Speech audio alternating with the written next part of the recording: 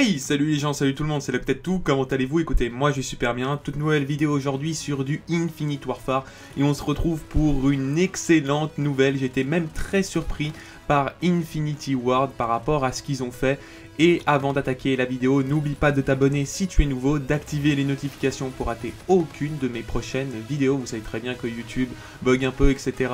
Et qu'on se rapproche très rapidement des 30 000 abonnés. Donc ça fait extrêmement plaisir. Donc n'hésitez pas à vous abonner si vous n'êtes pas encore fait, etc. Pour de la news sur les Call of Duty, etc.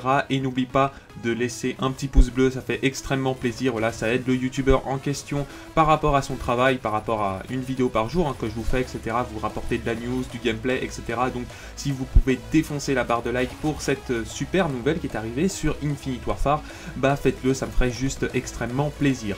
Voilà, donc on va attaquer tout de suite la super bonne nouvelle qui est arrivée sur Infinite Warfare il y a eu le pot de vin qui est sorti, le triple jeu, et certaines personnes vont me dire ouais c'est assez stylé etc. On va enfin pouvoir avoir des armes. Alors la particularité d'avoir ces nouvelles armes, hein, tout simplement, c'est que déjà dans le triple, dans le triple jeu ou, le pot de vin, excusez-moi, c'est vrai que j'ai tendance à comment dire à à me tromper, on va dire, au niveau du terme, c'est que euh, déjà on peut avoir une arme MK2 à l'intérieur.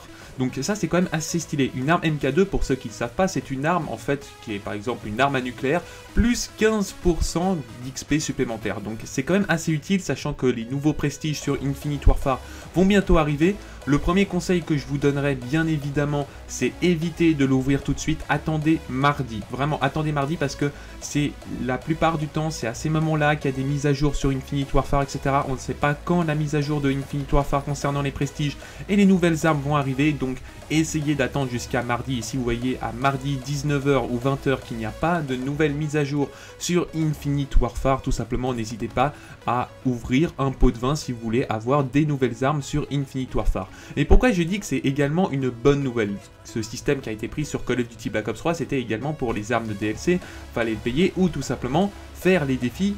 C'était je crois 75 victoires la première fois, puis la deuxième fois c'était 100 victoires et eh ben cette fois-ci, il n'y aura pas besoin de faire de défi, il suffira tout simplement d'obtenir avec 400 clés de cryptage sur Infinite Warfare. Et ça, c'est une bonne nouvelle. Ça, c'est une très bonne nouvelle au sens du terme que c'est pas forcément, tu vois, que des défis, etc. C'est-à-dire que quelqu'un qui a énormément joué au jeu et qui a énormément de clés de cryptage peut obtenir des bonnes choses dans un triple jeu, dans un pot de vin, etc.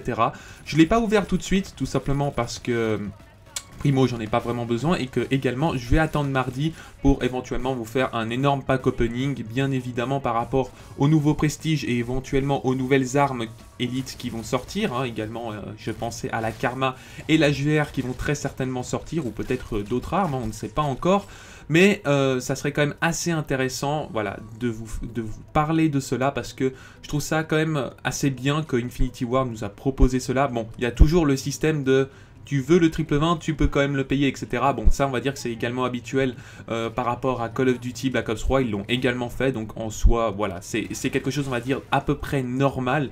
Et il n'y a pas, on va dire qu'il n'y aura pas vraiment un scandale par rapport à ça. Je pense que c'est totalement, euh, totalement assez, assez sympa, assez cool.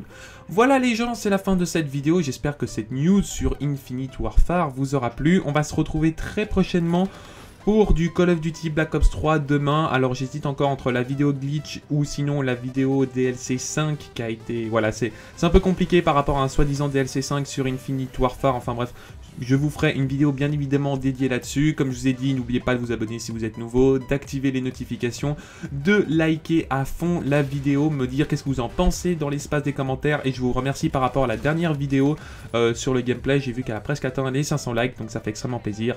Ciao ciao tout le monde.